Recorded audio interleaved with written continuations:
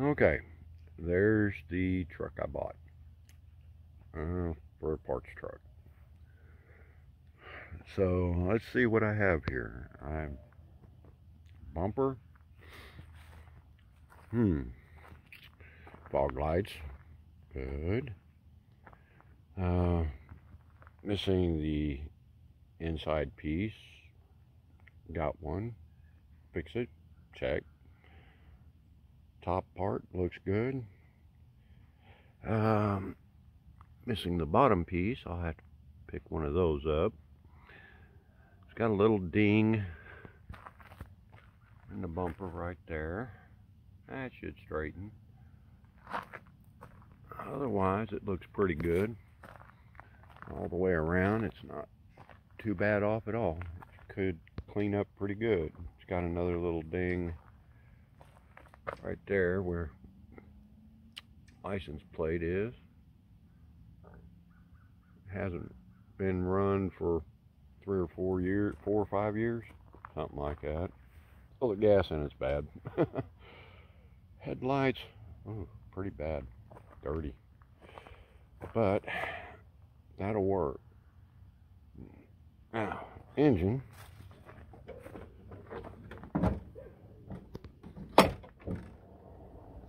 Oh, that hood's oh, heavy. Shocks, bad. Engine, yep, it's got one. All right, it's the same size engine, so I'm not losing anything there. It's supposed to turn over and potentially run. No guarantees on any of that. Let me get something under this hood.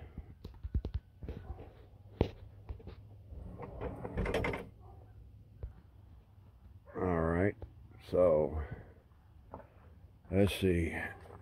Has pretty much everything there. Seems to be pretty complete.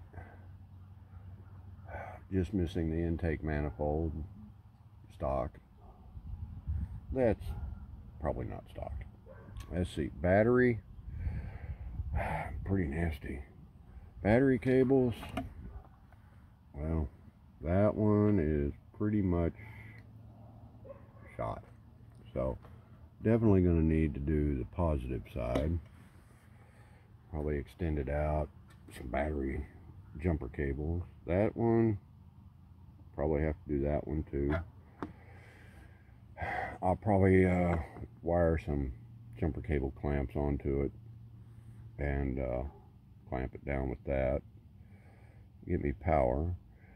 Uh, starter only clicks. It doesn't engage, so the starter will have to be replaced. Good thing I got a starter and it works. So I'll put that on there to turn it over and try to get this thing running good. Uh, once I got it running, then I pull it out and put it in the other truck. Uh, okay, now, got hubcaps, or the caps on that, the wheels, and it's got four stock wheels, four stock caps. So, uh, with that and the two stock wheels I have, I get two more stock caps. Yeah, sounds like a good plan. Okay, door hinge on my truck on the top driver's side is broke. This one's good. I'll just have to rebuild it. Uh, so I got the bumper, and engine, a hinge, some good wheels, and a good back glass. So I can replace the back glass on mine. I've got uh, four wheel four wheel drive here, so with the long bed, which means it's got the big tank, big gas tank under there. Uh, unfortunately, it won't fit on the short bed. but I got plans. So, I don't think there's a difference in the rear axle. Be fine. Now, I also, driver's side rear tail light, it's got one. Mine needs to be replaced, so I'm good there. The bed looks to be in okay shape, what I've seen so far. Uh, it's not all dented up really bad. A couple of dents in the inner wheel wells. Not a big deal. The rust, new panel put all the way across. It's rusted out down here. Rusted through here. Rust there. So I might just replace the pieces or replace the whole panel. I don't know. It's kind of dented right in there somewhere. Uh, so I can replace that. That's the driver's side. And like I said, this is a parts truck, but I have plans. So use your imagination here if you wish. Anyway, this panel here also rust out in the same places, but uh, that looks good. Rocker panels are bad. The door hinge on the bottom on the driver's side, it's bad. I got mud flaps. Hey, mud flappage. Interesting. So, yeah, there's that. Mud flaps. And a four-wheel drive frame. So, I could do some things. Interesting things. Uh, but if you could imagine, take the doors off, take and cut the cab off, you know, right in there somewhere, right back here on the backside somewhere. Take that off. Shorten this all the way up. Just move that all the way back to here. Okay? Just move it right to here. Now, got this flare piece right there on the door. So what I'll do is I'll cut that out and I'll transfer it to right in this area here. So it's covering that. Pull the full nose back, join it up right here, just weld it together so that the nose is all the way up here. Now, trailer out of that, got a long bed trailer with the nose on it, the full front turned into storage space. So I would basically just take all that, move that back, clamp it in, weld it all up, make a beautiful, perfect fit. Yeah, I think it'll look good. And then finish up the front. Put the bumper in there somehow, you know, uh, cut a bumper up and fit it in along with all the other little pieces and basically make a front end on it that looks right all the parts. I think, uh, you know, if I get into a fender bender, I got fenders in the tray on the trailer. I get bumper pieces in case I just bang it up a little bit. Hood, yeah, shocks, whatever I need. I can put uh, in that space there. I have all this radiator space here, all these coolers. I'll have all that space, plus all that engine compartment down there.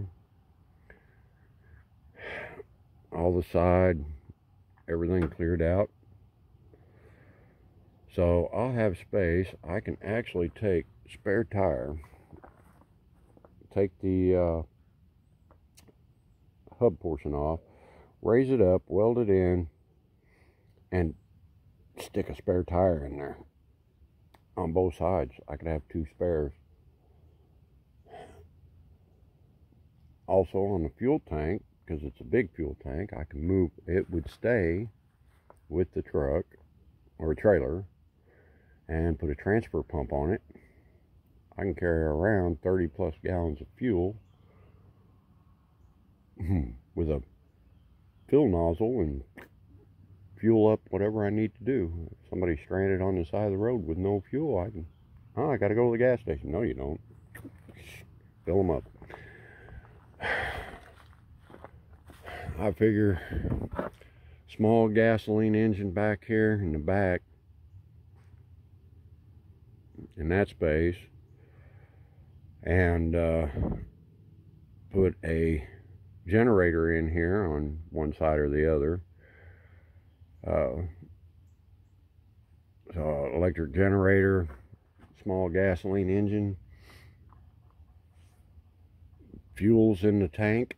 Just pump the fuel over to the generator. Um, I can put a compressor in here for air, air compressor. Uh, electric air compressor or clutch it out so I got two things operating I put it on a on the engine the little engine and uh, do it that way uh, have plenty of space for tools, equipment, whatever I need to put in there. Tons of space.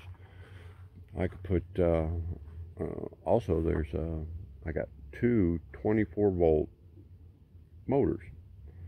So if I put two batteries in here, I can take those two motors, mount them onto brackets and jacks of some kind and I can raise and lower my spare tire straight up into the wheel space, jack it straight down, and actually raise the trailer off of uh, the trailer hitch, right? Sprays it up off the trailer hitch or lower it onto the trailer hitch. Wouldn't need a jack it up with a one of those silly jacks. Use the spare tires for that.